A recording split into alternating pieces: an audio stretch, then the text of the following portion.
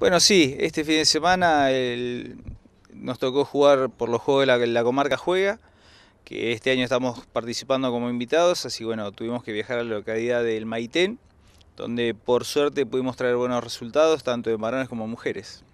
¿Cuáles son estos resultados?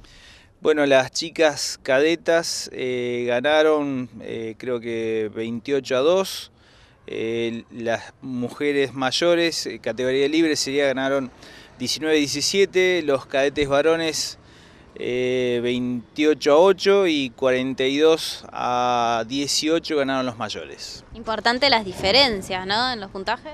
Sí, la verdad que sí, a pesar de que nosotros llevamos equipos, por llamarlo de alguna manera, alternativos para estar participando, para que todos los chicos puedan estar participando, no solamente los federados, sino también los que no, no están en ese carácter puedan estar participando de esos juegos, así que la verdad que es importante que los chicos que menos juegan puedan tener esta participación y sobre todo con buenos resultados. ¿Cómo se van a seguir desarrollando las competencias en lo que son los equipos locales de handball? Bueno, nosotros ahora tenemos este fin de semana en lo que es la parte federativa, tenemos el zonal de la categoría de cadetes masculino y femenino que se juega acá en el Bolsón.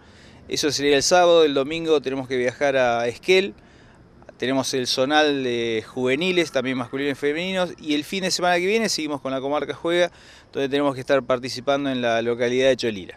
Mucho entrenamiento, mucho trabajo previo también, ¿no? Para todo esto. Sí, sí, la verdad que sí, o sea, aprovechamos al máximo el poco tiempo que tenemos de, entrenamiento, digamos, de clases, de, dejando a nivel municipal por una cuestión de no, no hay disponibilidad de los gimnasios, pero lo aprovechamos al máximo y sobre todo para tener buenos partidos.